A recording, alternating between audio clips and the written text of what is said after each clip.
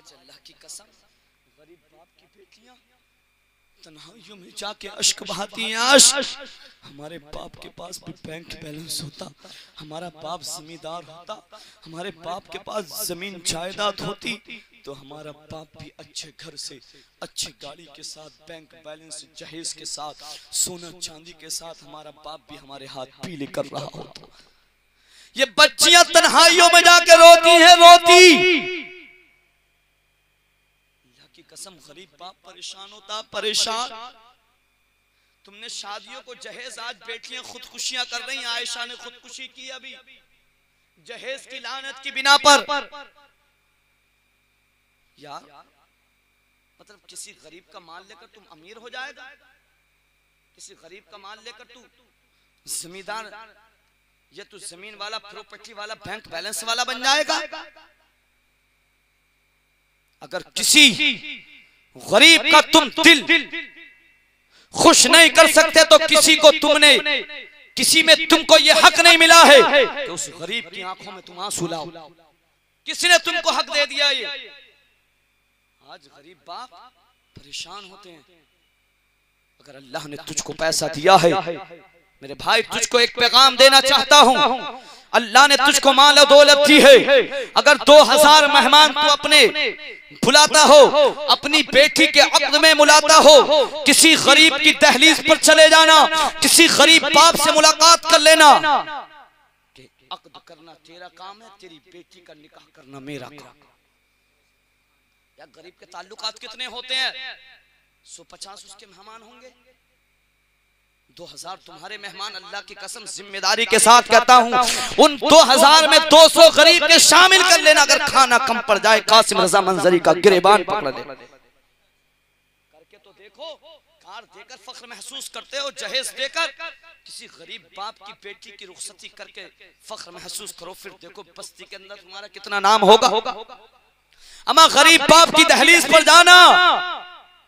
कि जा, निकाह का रिश्ते का इंतज़ाम कर। मंडप मेरा होगा, खाना मेरा होगा, मेहमान नवाजी मेरी होगी, तेरे रिश्तेदारों की देखभाल मेरी होगी, शादी हॉल मेरा होगा, मैरिज हॉल मेरा होगा, लेकिन निकाह तेरी बेटी का होगा। और इधर तू शरीर से कह रहा होगा कि शादी मंडप मेरा होगा मैरिज हॉल मेरा होगा खाना मेरा होगा निकाह तेरी बेटी का होगा उधर हमारे तुम्हारे रब की मशिक्कत को जला लाएगा ये काम तेरा करना होगा और जन्नत में भेजना ये काम मेरा। करके तो देखो ये काम करके देखो ताकि कसम ज़िंदगी में चार चाँद न लग जाए तो तब कहना। बेचारे, बताइए, गरीब के यार ताल्लुकात ही कितने होते हैं यार उसके बेचारे? सौ, दो सौ मेहमान होंगे, हज़ार पाँच सौ तुम अपने बुलाते हो। ये काम करो। जहेज की लानतों को खत्म करो। और कुछ बरातों में जाने वाले बराती भी कम नहीं है। घर, चाहे बोटियों पे लड़ाइयाँ होती हों, हफ़्ते में दस दिन में, पंद्रह दिन में गोश्त खाने को मिलता हो। कड़वी बातें हैं ये। लेकिन हकीकत है हकीकत। शादी में पहुंचेगा तो पैंट तक खोल के बैठेगा। किस चेंज कीजिए डोंगा चेंज कीजिए लेग पीस पे लेग पीस मुँह मारा मुँह मारा आधा किलो एक एक किलो एक बार में निकाला थोड़ा खाया दिल नहीं कर रहा प्लेट नीचे को सरका दी रोटी। गर्म नहीं है अच्छी नहीं है। ली हाथ साफ़ करा अल्लाह के रिस्क से। टेबल के नीचे डाल दी। मैं यार उस गरीब आपने सोचो तो सही। किस तरह से अपनी इज़्ज़त को बचाने के लिए लोगों से कर्ज लेकर शायद इंतज़ाम किया हो। अपनी ज़मीन बेचकर अपनी बेटी का निकाह किया हो। अपनी तमाम इज़्ज़त दाव पे अपनी बेटी की रुखसती के लिए लगा दी हो। हम खाने के लिए तुमसे मना नहीं करते। हम कितना तुम खर्चे खा लो लेकिन अल्लाह के रिस्क को बर्बाद करने की क्या ज़रूरत जितना खाओ इतना प्लेट के अंदर निकालो। लेग पीस पे लेग पीस डिश चेंज करो ढोंगा चेंज करो। रोटी गर्म से गर्म लाओ। चाहे घर पे बोटियों के लिए लड़ाई होती हो बोटियों के लिए हफ़्ते में बनता हो गोश्त ये बात हकीकत है मैं या कड़वी लग रही होगी यार। नहीं करते हैं गोश्त का खराब। और आजकल एक और काम चल गया। टेबलों का काम ही खत्म कर दिया, कुर्सियों का। स्टैंडर्ड वीआईपी सुनो, अगर खड़े होकर हज़रत वीआईपीओ का तरीका होता, खड़े होकर खाना अच्छे लोगों का, बड़े लोगों का तरीका होता तो गधे से बड़ा कोई वीआईपी ना होता। वो तो खड़ा खावे भी खड़े होकर और बोलो बरास। मतलब पेशाब भी खड़े खड़े अगर खड़े होकर खाना वीआईपीओ का बड़े लोगों का तरीका होता, अच्छे लोगों का तरीका होता तो सबसे बड़ा वीआईपी गधा होता गधा। ये क्या तरीका रिवाज निकाल लिया तुमने?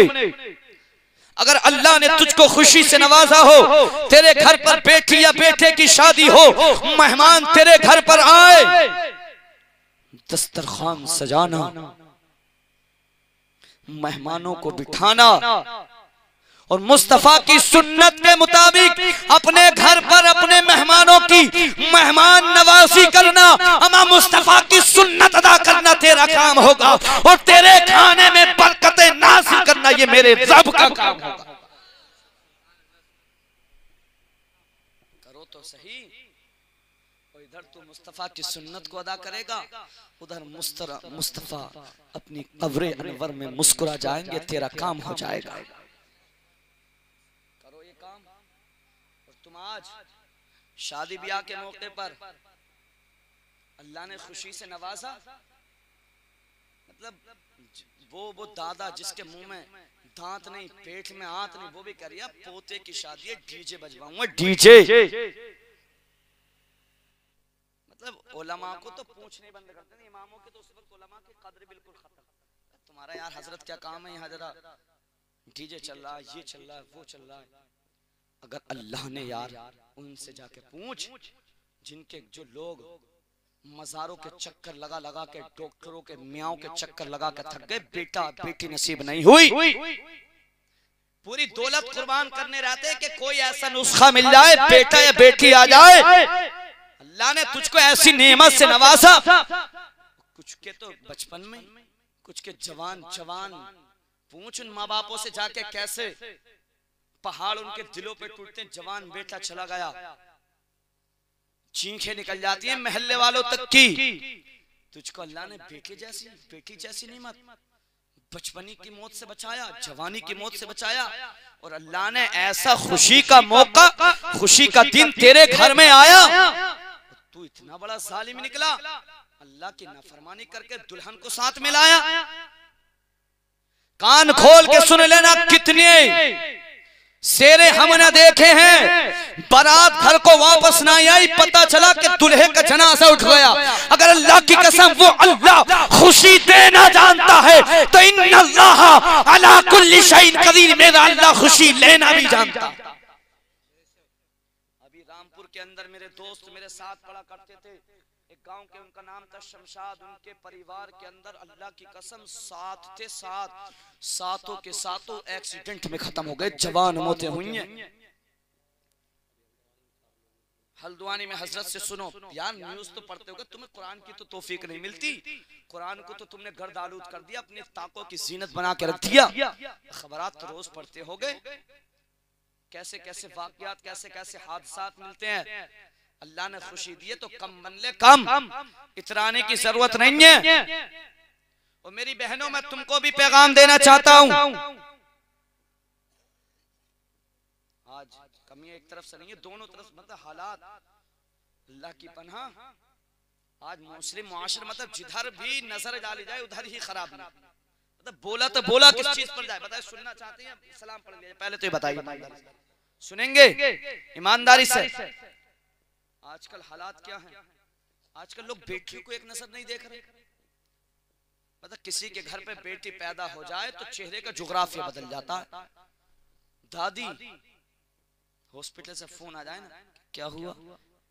लल्ली। तो महल्ले में मरे दिन से करिए लल्ली आई। मतलब बुढ़िया का दम निकलने वाला वो तो खुद लेडीज़ है वो खुद खुद की भी पैदाइश होगी खुद भी लड़की की सूरत में पैदा हुई है। लल्ली आई है। अगर हॉस्पिटल से खबर आ जाए फ़ोन पे। दादा अलग परेशान बाप अलग परेशान महल्ले वाले अलग चर्चा कर रहे हैं। थोड़ी खुशी है तो माँ के कलेजे पर है लेकिन माँ को भी ये गम सता रहा है। पता नहीं मेरी ससुराल वाले क्या कहेंगे मेरे महल्ले वाले क्या कहेंगे मेरे पड़ोस वाले मेरे खानदान वाले क्या कहेंगे? उस बिचारी को ये गम मार दिया। लोग बेटियों की लड़कियों की पैदाइश को हकीर जाना करते हैं हम। सुनो मुस्तफ़ा करीम फरमाते हैं अगर अल्लाह ने किसी को तीन बेटियों से नवाजा हो नवाजने के बाद उसने परवरिश की हो परवरिश करने के बाद उन्हें दीन की तालीम दी हो। दीन की तालीम देने के बाद अपनी बेटियों की रुखसती शरीयत के मुताबिक अपने घर से कर दी हो तो मोहम्मद उसकी जन्नत की जमानत लेता है। बेटियों की पैदाइश को और समझने वालों एक सहाबी खड़े हो गए आका अगर किसी पे दो ना हो कहा, दीवाने, अगर किसी को अल्लाह ने दो बेटियाँ दी तिरमिजी शरीफ की जिल्द सानी की हदीस पाक है ये। अगर दो हो, परवरिश की हो, तादीब दी हो, तालीम दी हो अपने घर से शरीयत के मुताबिक रुखसती की हो तो उसकी भी मोहम्मद जन्नत की जमानत लेता है। एक सहाबी खड़े हुए, आका, अगर किसी पर एक ही बेटी हो। मुस्तफ़ा करीम फरमाते हैं, इन जागीर के खुशकीदा सुन्नी भाइयों, अपनी दिल की तख्ती पर मुस्तफ़ा की हदीस के जुमले नोट करके ले जाओ। मुस्तफ़ा करीम फरमाते हैं, अगर किसी को अल्लाह ने एक बेटी से नवाजा हो, नवाजने के बाद दीन की तालीम दी हो, उसको अदब सिखाया हो और उसकी रुखसती अपने घर की दहलीज से कर दी हो तो मोहम्मद उसकी भी जन्नत की जमानत लेता है, जमानत। हम ज़मीन हो जाए हो जाए। ज़मीन आसमान हो जाए हो जाए। आसमान ज़मीन हो जाए हो जाए। पीली भीत बरेली चली जाए चली जाए। बरेली पीली भीत आ जाए आ जाए। लेकिन अल्लाह की कसम, मुस्तफ़ा की हदीस के जुमले टच से मच नहीं हो सकते। जमाने। जमाने। भर में बड़ी घर की शान बेटी से महकता रहता है दिल का जहान बेटी से। हमारा ज़रूरी नहीं बेटों से नाम रोशन हो। चला नबी का मेरे खानदान बेटी से। चला नबी का मेरे खानदान बेटी से। चला नबी का मुस्तफ़ा को अल्लाह ने बेटे दिए थे। मैं माने नहीं कर दिया। लेकिन बचपने के छुटपन के अयाम तफूलियत के अंदर दुनिया से तशरीफ़ ले गए थे। मुस्तफ़ा की खातून थी खातून जन्नत दीगर बेटियाँ थी, जिससे आज हसनी और हुसैनी सज्जदों की नस्ल दुनिया में तुमको जगमगाती हुई नज़र आती है। और मेरी बहनों, तुम भी कान खोल करके सुन लो। आज लोगों ने या तो अपनी बीवी को अपने सर पर इतना चढ़ा लिया कि हिम्मत नहीं है बीवी के सामने कुछ कह दे। मतलब अगर खाने में भी नमक हज़रत गजाली साहब कम हो जाए तो हिम्मत नहीं है बीवी से कह दे। बल्कि आके कहेगा, बेगम साहिबा, मैडम, बात ऐसी है, पत्नी, आज हमें अपना जायका, अपना मूड, अपना टेस्ट अच्छा नहीं लग रहा, नमक लेकर आओ। ये नहीं कहेगा, तूने नमक डालने में कमी कर दी। इतना सिर पर बिठा लिया बीवियों और कुछ ऐसे भी हैं कि इमाम साहब, मौलाना साहब, हम तो अपनी बीवी को, अपने घर की औरत को, अपने पैर की, जूती की नोक समझा करते अमाना बीवी सर पे बिठाने की चीज़ है न बीवी पैर के जूते के नोक है बल्कि अल्लाह ने इसको बाई पसली से पैदा किया है ये बाई पसली से पैदा हुई है ये सीने से लगाने की चीज़। बीवियों को हकीर जानते हो? मुस्तफ़ा करीम की बीवी बीवियाँ थी। कैसा दर्श दिया मुस्तफ़ा ने? हज़रत आयशा बयान फरमाती हैं कि मुस्तफ़ा सख्त सर्दी के मौसम में रात को उठा करते उठने के बाद मस्जिद नबफी की जानी नंगे पैर जाया करते थे। गर्चे मुस्तफ़ा को सख्त सर्दी हो या सख्त गर्मी हो गर्चे नबी को कोई गर्मी सर्दी परेशान नहीं कर सकती नुकसान नहीं पहुँचा सकती। लेकिन सुनो पैगाम क्या मिला है मुस्तफ़ा के दर से? आयशा फरमाती है सख्त सर्दी के मौसम में मुस्तफ़ा नंगे पैर नंगे कदम चलकर मस्जिद नबवी तहज्जुद के लिए जाया करते थे कि कहीं ऐसा ना हो मेरे पैर की जूती की नालेन की वजह से आवाज़ पैदा हो पैदा होने के बाद उसकी आवाज़ से मेरी बीवियों की नींद बेदार हो जाए। नींद में खलल और इसका अगर बीस बार भी अगर आँख खुल रही है ना बीस बार भी नींद खुल रही है। चाय लाई। पानी लाई। ये बेचारी भी इतनी सीधी होती है अगर दस बार के बीस बार तुम उठा लो जबान पर हर्फ शिकायत नहीं आएगी। ये होती है। लेकिन कुछ मतलब कुछ बीवी के पिट्ठू इतने होते हैं मतलब बेचारे माँ बाप ने कर्जा ले लेकर किस तरह इंतज़ाम कर कर के शादी की? कि मेरे घर बहू आएगी, सास भी खुश हो रही है, बहू आएगी, और वो ऐसी आई है कि नाक में चने चबा कर और ये भी इतना बड़ा पिट्ठू है, बाहर से आ रहा ना घर को। फलों की थैला, थैली, बैग बीवी को जाकर फ्रिज में जाकर जाकर से बुढ़िया ना देख ले। और ये भी फल खा रही है, केले के छिकले, सेब के छिकले, बुढ़िया के सराने को फेंक रही अब उसकी भी सुबह को आँख खुल लिया उसका भी दिमाग खराब हो गया उससे भी कुछ खाने नहीं मिला। अब वो भी देखा गुस्सा निकाले तो निकाले, कहा जिस दिन से घर में आई है घर की बरकतें उड़ा दी इसने। उसे भी अपने भी केले, फल खाने नहीं मिला, वो भी गुस्सा निकालेगी। तो कमियाँ दोनों तरफ़ से हैं। लेकिन कान खोल करके सुन लेना। तुम कहीं परदेश कमाने के लिए जाना। जाने। के बाद परदेश से अपने घर को वापस आना। आजमा कर देख लेना। ये आजमुदा बुज़ुर्गों का जुमला है। परदेश जाना। कमाने की खातिर घर को वापस आना। आने। के बाद तेरी बीवी होगी जिसकी नज़र तेरे पॉकेट पर होगी। तेरे बच्चे होंगे तेरे हैंड बैग पर उनकी नज़र होगी हाथ की पोलोथीन पर उसकी नज़र होगी कि हमारा बाप खेलने के लिए खाने के लिए कुछ लाया नहीं लाया बीवी की नज़र होगी मेरा शोहर कुछ कमा के लाया नहीं लाया लेकिन अल्लाह की कसम इस दुनिया के अंदर अल्लाह ने एक ऐसी औरत भी पैदा की है अमा उसकी नज़र तेरे पॉकेट पर नहीं होगी तेरी हाथ की अशिया पर नहीं होगी बल्कि अपने लाल के चेहरे पे होगी। बाद में पूछेगी बेटा क्या कमाया क्या लाया? ये बता मेरे लाल तुझको सफ़र में परेशानियाँ तो नहीं मिली थी।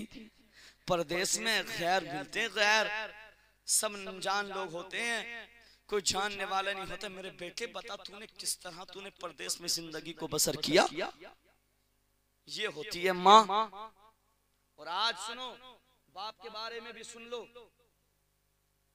दुनिया के अंदर चचा चाहता, भतीजे से ज़्यादा तरक्की कर जाऊँ।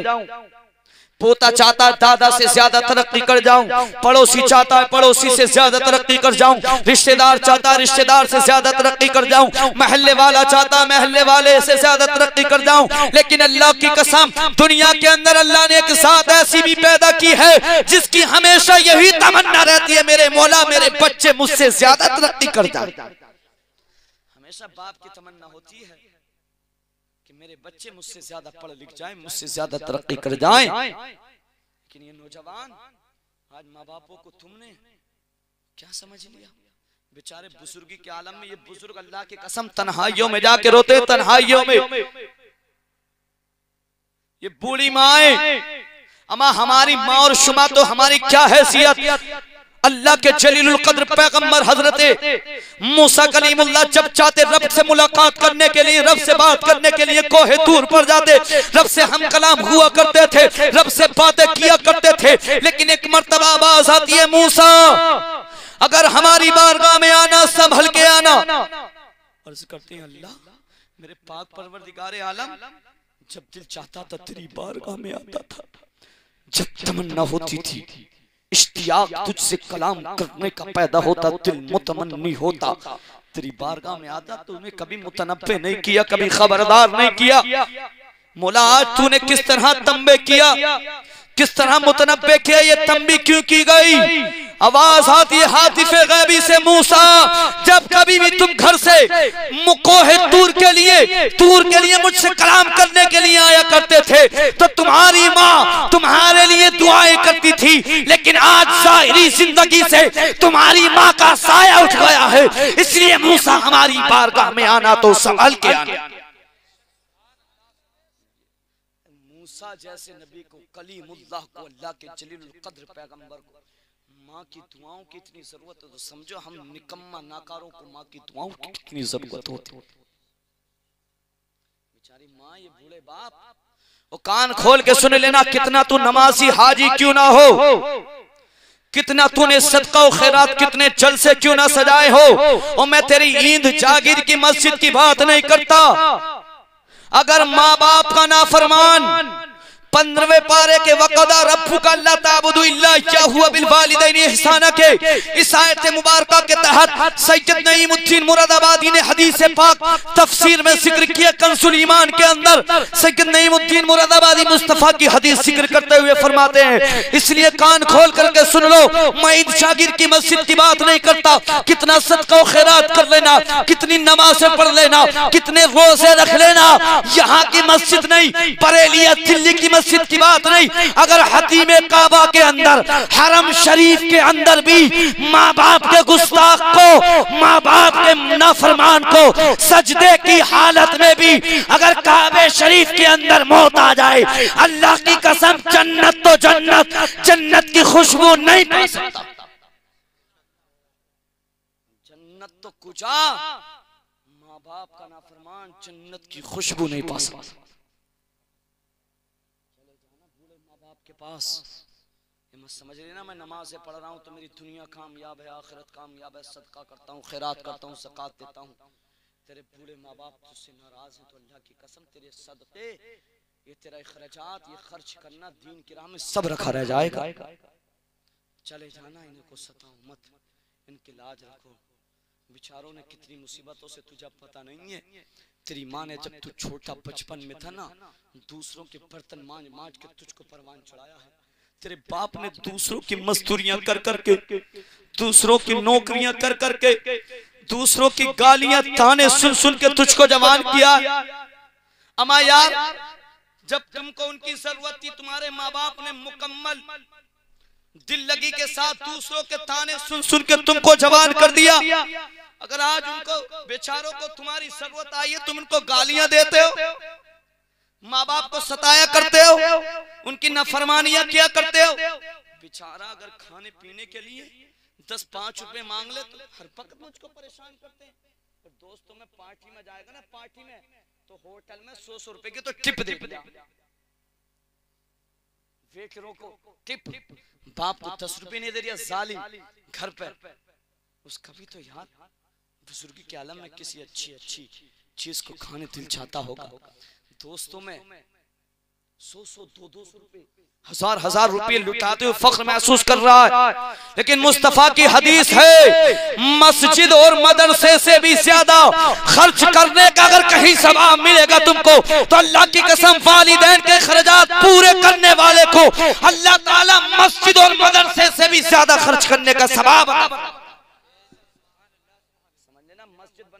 तो ज़्यादा सवाब मिलेगा मस्जिद से भी ज़्यादा खर्च करने का सवाब मिलेगा तो तुझको माँ बाप पर खर्च करने का वक्त काफ़ी हो गया बात है दिल का दर्द बहुत है बहुत कुछ बतलाना चाहता हूँ लेकिन नौजवानों जश्न मिराज नबी है आखिरी बात सुन लो जहन्नमियों के ताल्लुक से हदीस पाक पड़ी जहन्नमियों का खाना बता दूँ आइंदा मुलाकात होगी जहन्नमियों का पीना बताऊँगा और लोगों वाकई अल्लाह का डर हो बड़ी तुम नमाज़ कसा करते हो।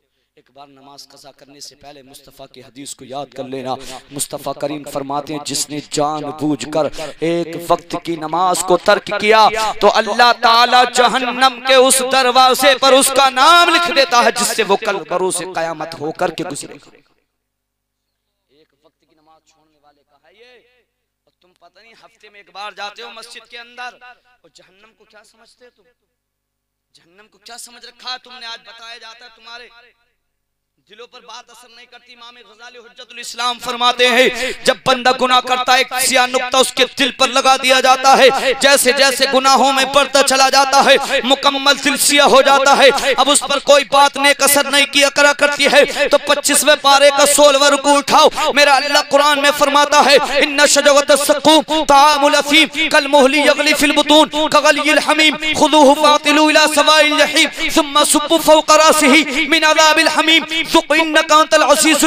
अल्लाह 25वें पारे के 16वें रुकू में बयान फरमाता है इन शजगत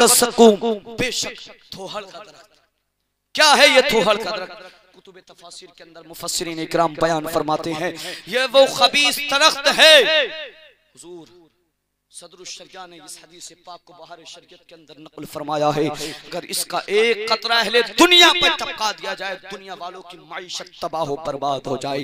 क्या होगा इसका तामुल असीब? ये गुनाहगारों का खाना होगा ये जहन्नमियों का खाना होगा नमाजों को कसा करने वालों का खाना होगा जक़ात न देने वालों का खाना होगा माँ बाप की नफरमानियाँ करने वालों का खाना होगा यतीम का माल खाने वालों का खाना होगा। गरीबों को परेशान करने वालों का खाना होगा पड़ोसियों का हक मारने वालों का खाना होगा।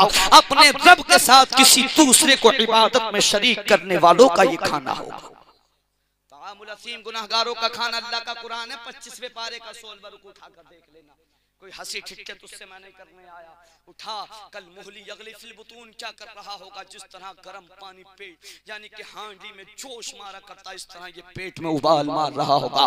कगल की हमीम जिस तरह के गर्म पानी जोश मारा करता है, और इसी पर बस नहीं किया जाएगा, मेरा अल्लाह फरमाएगा खुजू फातिलू हिला सवाइल जहीम, फरिश्तों इसको पकड़ो, ले जाकर जहन्नम में डाल दो। और मेरा अल्लाह फरमाएगा तुम सुब्बु फौका रासिहिम अज़ाबिल हमीम फरिश्तों इसके ऊपर से जहन्नम के खोलते हुए पानी का अजाब उठेलना शुरू कर दो, मेरा अल्लाह फरमाएगा, फरिश्तो! इसी पर बस करो बड़ी ना फरमान या दुनिया के अंदर इसने मेरी की थी। बड़े यानी कि अपनी अमीरी के चर्चे किया करता था, बड़ी इज़्ज़त, बड़े मनसब, बड़े मर्तबे वाला बनता था। फरिश्तो इससे कहो सुख नकांतल अजीजुल करीम। चक जहन्नम के अजाब का तू बड़ी इज़्ज़त वाला बनता था, बड़े मर्तबे वाला बनता था, बड़े मनसब। चक जहन्नम के अजाब को ऐसी समझ रखा, तुमने जहन्नम को। ये जहन्नमियों का मेरे भाई खाना है, खाना। इसलिए ये प्रोग्राम तुमने सजाया है, मनाया है। अगर वाकई अल्लाह उसके रसूल का खौफ तुम्हारे दिलों के अंदर है, आज तुम मुस्तफ़ा की प्यारी सुन्नत दाढ़ी शरीफ को नालियों में बहाते हो। अगर मुस्तफ़ा ने कब्र के अंदर अपने चेहरे को फेर लिया तो बताओ कौन होगा कब्र की तारीकी में? लाइट मियाँ चली जाए, कमरे में रिश्तेदार घर कहीं चले जाए ना घर वाले कमरे में तनहा नहीं रुका जाता, कब्र के अंदर कंधेरी कब्र के अंदर, सांप बिच्छू जिस कब्र के अंदर, और ऐसा एक डंक मारे, एक मर्तबा डसे, बहत्तर फीट ज़मीन के अंदर इंसान धस जाए, वो सांप कब्र का अगर दुनिया में आके सांस ले लेना ज़मीन पर आकर ज़मीन ज़मीन अपना सब्जा उगाना बंद कर दे। वो जहन्नमियों पर कब्र के अंदर गुनाहगारों पर दाढ़ी मुबारक सुन्नत मुस्तफ़ा को नाली में बहाने वालों पर मुसल्लत किया तो है आज के कोई प्रोग्राम में जो अल्लाह का खौफ रख कर ये नियत करे मैं इंशाल्लाह आज से मुस्तफ़ा की सुन्नत को अपने चेहरे पे सजाऊँगा। है कोई पूरे? माशाल्लाह क्या नाम है? नारा लगाइए नासिम साहब नारा लगाइए। नारे तकबीर।